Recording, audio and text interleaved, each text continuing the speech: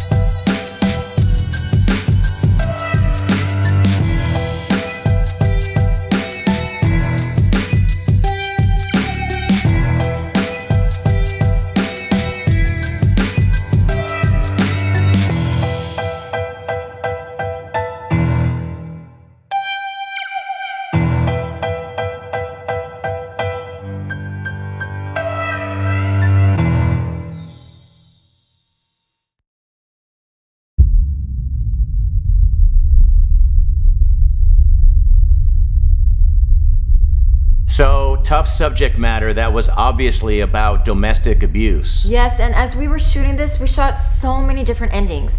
But we realized not every story is the same. Yeah, many people find the strength to finally move on because they know they deserve better. But many people, like my mother when I was a kid, stay in it for years. But we know this no woman or man should be judged. Everyone is in a different situation. But if you're at a point where you're ready to talk to someone, we made a lot of calls, did a lot of research, and we feel like these are a couple of numbers where people can really help you out to talk. And we also want to thank our amazing dancers. Oh Poppin. John. Poppin John.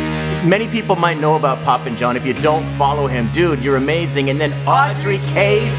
Natasha found her, and I was like, who is this young lady? You're amazing, Audrey. Follow her as well. And we also want to thank one of our good friends who donated to the cause.